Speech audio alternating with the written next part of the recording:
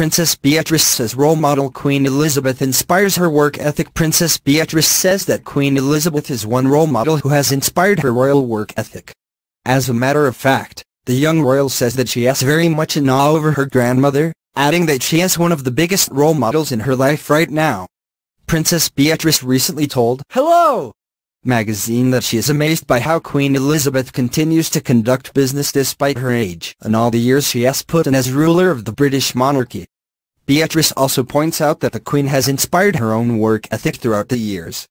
Beatrice told the publication, Every day she is curious to learn something new, to do something new and I think that at 91 years old, she goes out into the community with a genuine curiosity as to how she can be a force for good in the world.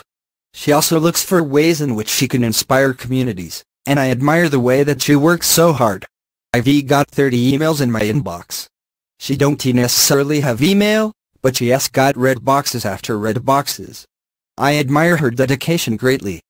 Princess Beatrice's comments come as a surprise for many royal observers. That is because she has often been called another work-allergic royal who has had a hard time keeping a legitimate job down. Earlier this year, Reports indicated that Beatrice's shady business matchmaker role raised plenty of eyebrows.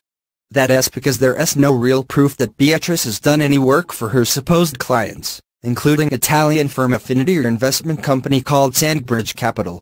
No one in Beatrice's inner circle has been able to provide any details about her role with the companies. Beatrice was reportedly hired to be a brand ambassador for Afiniti, yet there is no proof that she has any real ties with the company. Instead, she has been photographed either partying in London or going on luxurious vacations with her family and friends.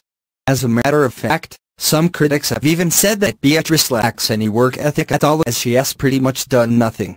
Of course, royal fans will just have to wait and see if Princess Beatrice does plan to step up her workload in the near future or if she'll continue to make sporadic appearances from time to time.